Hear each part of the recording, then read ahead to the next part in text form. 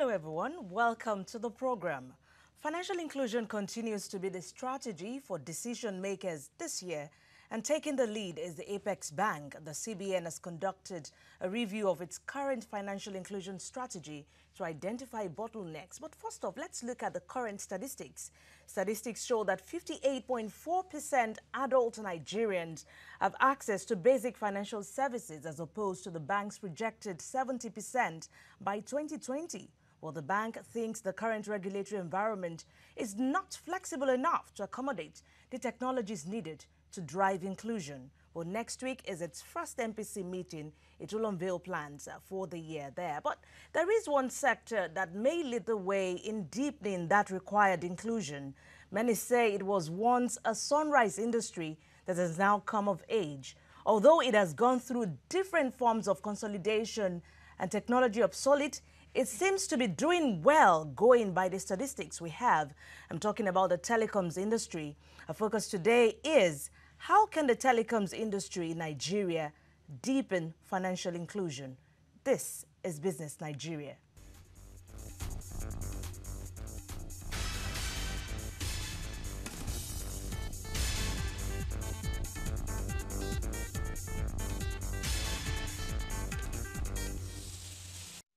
Well, governments across countries have taken progressive stands to bring about regulations to allow multiple players in the private and public financial systems with licenses to operate bank-led mobile money solutions.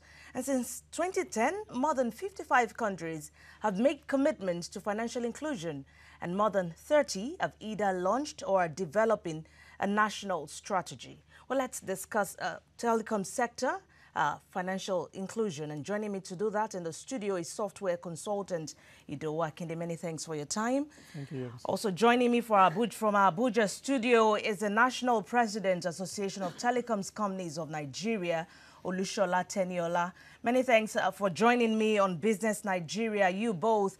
But first off, let me let me feel the pulse of Nigerians. They are the ones these services have been for. Let's feel their pulse. Let's see how they are feeling with the service providers. The way they are doing these days is not as how they are doing before. Now, uh, the tariff that they are taking from the from from uh, is very cheap. Sometimes the network is not always good, especially when you have um, urgent things you really need to do. It is at that time that um, the network will not be good. And apart from that, you know, there are some areas that you don't have um, good coverage. It's been good, but it could be better. There are still some things that I thought by now they should overcome. For instance, you talk on the phone, before you know it, it goes off. And you can't hear the other side again. You have to cut off and start off again. And secondly, sometimes too, they give you charges you don't know how they came about. Then the issue of spam, I don't know what you call it, unsolicited text messages is getting too rampant. And they have a way of trying to circumvent the rules. So they could do a lot more and then their coverage is not as extensive as you would think. Sometimes we take the, so we subscribe to the major networks because we thought or we think they are well spread across the country to the villages. But recently went for the Christmas holidays, and to my surprise, so many villages, call it villages, really, they are townships now, outside Lagos. Coverage is very, very poor. Their network, at times, the way they, de they deduct um, the airtime, share you get, and their packages, their packages are not that okay. The only thing I don't like about them is their data. Their data, their calls, everything is okay. Even their browsing, their browsing is very okay, it's lovely. But my um, their data, they don't give much data. Sometimes network problem, but still, I still manage it. I cannot expect 100% from them, but still, I still look up onto them. Their charges is high, and most of the time I get frustrated, you know anytime I, I, recharge, then you discover that the level of their um, charging became so high. Then sometimes I'll be giving up, but just because of the love I have with the network, so I continue using the line. I think I've tried almost all the networks. Uh, MTN, I've not used, I don't use it to browse, but I use it to make calls. But the network, sometimes you call, another person will be speaking another language somewhere. All right, uh, guys, we've heard the voice of the people. Let me start with you, um, Idowu. Yes, it seems that the, the telecoms industry, the ICT industry has fared well in the past year. We, we could see the subscriber base increasing, tele density improving. Also, we surpassed the broadband base over 30%. percent What's your take on this generally?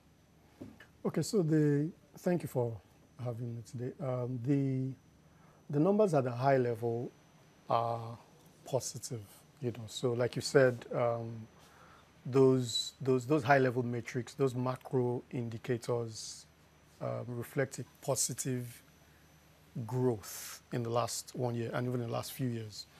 Um, however, there's still work to do. I wouldn't want the industry or us to rest on these achievements because there's much more to do.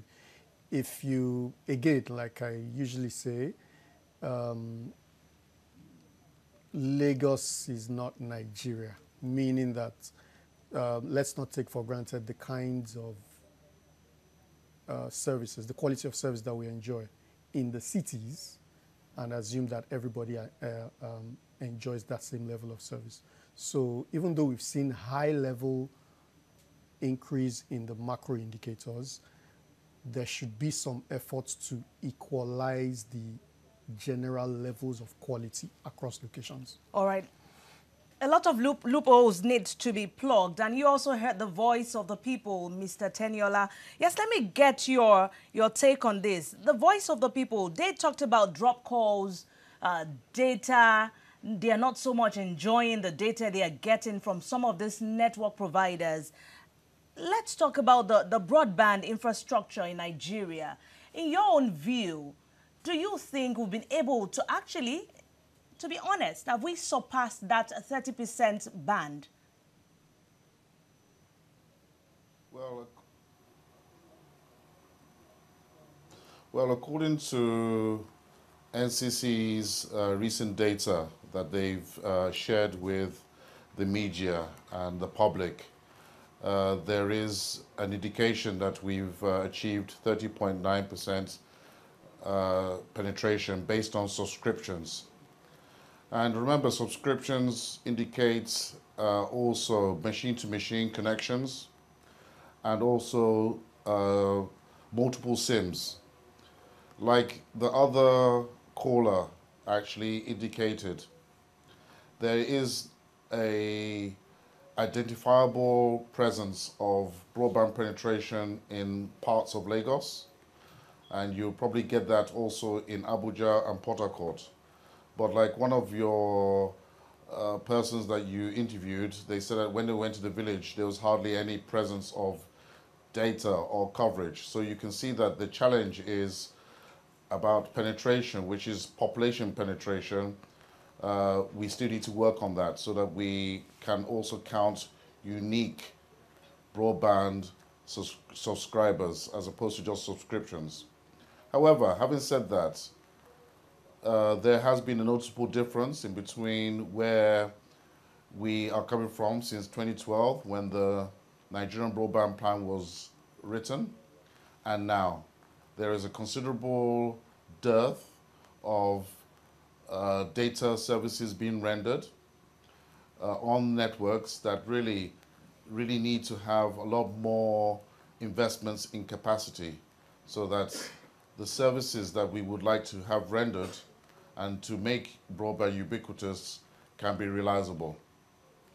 Yes, uh, many telcos are jostling for space to become the new age banks. Now, we see the CBN uh, complaining about the bottlenecks when it comes to financial inclusion. It talks about obsolete technology, uh, fixed fees across all transactions. Now, let's look at financial inclusion deeply. Even banks see that the telecom companies are the deep pockets. They're no longer looking at the crude oil uh, that we used to have that used to drive the revenue for the economy. But how do you think the telcos can deepen inclusion this year? Um, you have to understand that the basis of any digital economy is founded on the telecom sector. The telecom sector is the most critical industry universally uh, that you will identify in any jurisdiction in any country. So if we take some of the past historics, uh, the actual networks were built to carry digital information. Financial transactions are digital. So there is a natural synergy between what the payment services banks are trying to do and what the telco industry has been doing for a long time now. And it is much more critical now that we have identified that there is a significant growth in mobile penetration, which of, of latest statistics would suggest that we have 165 million active subscribers in Nigeria on its own. And obviously we have a far reduced penetration of fixed line. So our modus of operandis in Nigeria is mobile broadband, mobile transactions.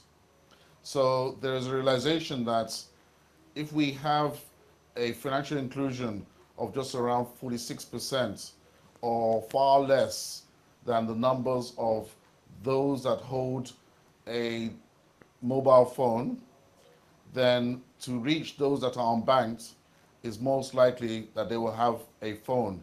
And therefore, we can use technology, whether it's 2G technology or 3G, to access these forms of services. And the Payment Services Bank falls under such type of service. Yes, you heard him. Technology still is the bane of what we're talking about, and getting the right or adopting the right technology uh, will go a long way to help deepen this inclusion. You are a software person. How do we begin to address the issue of technology and bridging that infrastructural gap? Okay. Um, so I'll pick up from the point where uh, the other gentleman mentioned that um, more than likely the people who will be identified as unbanked will already have mobile phones because of the deep penetration across geographies of the telecoms sector. Um, the implication of that is that startups, uh, tech companies will then, fintech companies will then need to study, get intimate with these demographic of customers, understand them intimately, the people in the rural areas, the people who are not banked, but who have mobile phones. Um, so in order, not, in order to create products that are, first of all, that first of all address their need and are a fit for their current lifestyle. So for instance, it will make no sense to build a highly functional mobile app that requires the kind of network quality that you get in Lagos and expect people in the hinterland to use it. So that's what I said, uh, that's what I meant when I said the, the people who build these solutions or, or, or these apps need to be sensitive to understand exactly what the parameters of the of the situation of these people are in the hinterland. That will enable, so like he said, he mentioned some things around um, whether it's 2G or 3G, meaning if you can't get high, if, you, if, if there is a way to build an app or a website or some financial service uh, that will improve inclusion, but to build it in such a way that it is highly functional on a low latency, low quality network, okay, then that is the way to go. If it's possible to use text messages, you know, uh, which, which we've seen some of some innovations come along that line these days with, with the USSD um, star, blah, blah, blah, codes, you know, yeah. you know, the USSD codes. So those kinds of innovations are what people outside these city clusters that we've mentioned can enjoy immediately with their current levels of access. All right, we'd have to take a break at this moment. And when we return, guys, we'll be talking about uh, the company's license to, to build broadband infrastructure and the CBN talking about the regulatory frameworks that uh, is not so flexible to allow these guys uh, to work. We'll talk about that when we return. You're watching Business Nigeria. You're watching Business Nigeria. How telecom companies can deepen financial inclusion has been the topic. I've been speaking with uh, a software consultant, Idowu Akinde, and also uh, the President, Association of Telecoms Company of Nigeria, Olusola Teniola. Yes, from statistics that I, I spoke about earlier, 58.4% adults have access to basic financial services at the moment as against the 70% projected uh, by the CBN. Yes, and the CBN says current regulatory environment is not flexible enough to accommodate the technologies needed to drive inclusion. Mr. Teniola, do you think the government should hands off?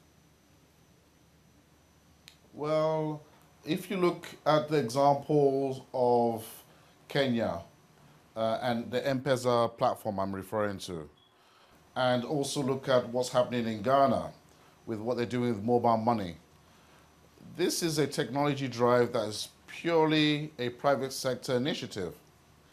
Remember, we're talking about a technology now that's about 30, 30 years old. GSM is 30 plus years old. So the permutations and combinations of what we can do with this technology in Nigeria, we're just scratching the surface. And I don't think regulatory or regulation should come in front of technology. It usually is in sync or it, or it follows when there's identified abuse of consumer um, uh, unfair play, for instance. So for the consumer, we're actually not providing them the best that the technology can give to them. And if you look at the rural sector at the moment, where there are about 20 to 30 million Nigerians that have not even had access to a telephone. Talk less of those that have access to telephone services and are just using it for basic voice calls. There is a huge opportunity now where we can get them included in banking using mobile technology. This is disruptive, it changes the narrative, and it also introduces increase in GDP and in the way and manner that they can now live their lives by using the device that they have. The software is there, the hardware is there, the know-how is there, the intellectual property is there. It has been tried and tested in other jurisdictions. It's been a success in Kenya. It's a success in Ghana. I don't see any reason why it shouldn't be the success in Nigeria. Yes, you share the same opinion of what he has said. I do. I do. All right, so we should begin to rethink advocacy for regulatory uh, frameworks to be taken off, mm -hmm. uh, technology to thrive mm -hmm. in Nigeria. Mm -hmm. So what's your take? Okay, so um, so it's it's um,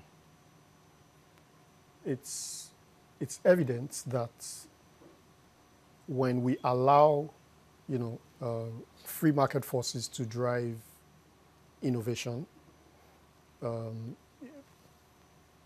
every everybody will settle themselves. You know, uh, uh, if I may use that phrase.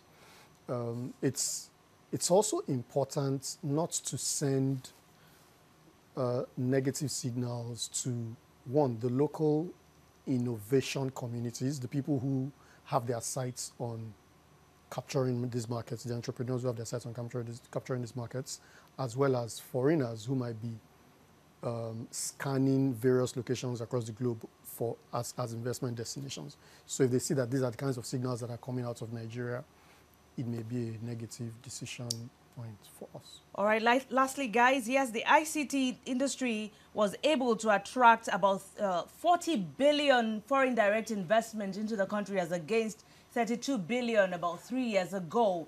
Do you think we are going to get more of that this year, Mr. Teniola? Well,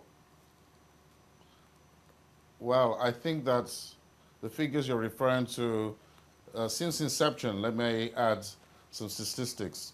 Uh, the ICT, where telecoms is a part of, combined has contributed around $70 billion of investment since the deregulation of this industry since 2001. And that's very sizable. If you think of the fact that we started off with just voice calls, now we also have a huge sector in SMS, we carry financial transactions. We carry over-the-top applications. There are other mission-critical services that run on the back of the same investments. So you can find out that if we want to increase the capacity of our economy and we want to grow it, there needs to be further investments. And I believe that with the right conducive environment, driven by proper government policies, and obviously I protect the investments of my members, which represents out of uh, $32 billion out of that 70 billion that I just mentioned. So we need to obviously work collaborative with government to see those areas that will improve our economy, improve the lives of the citizens, and to reach out to the bottom of the pyramid where there are still some people, and Nigerians, unfortunately, who have not actually had an experience of making a voice call. In 2019, that's not acceptable. So we not only need to improve broadband to make it ubiquitous, but we also need to reach out to those that have not had the opportunity to make a voice call. All right. Well, that data was just for 2018, $40 billion FDI into the ICT sector. I would have to leave it at that, uh, but we'll continue the conversation on Twitter. Uh, thank you so much, Mr. Olusola Teniola, and also Idowu Akinde, uh, for welcome. talking to us on Business Nigeria. Appreciate your time. But just before we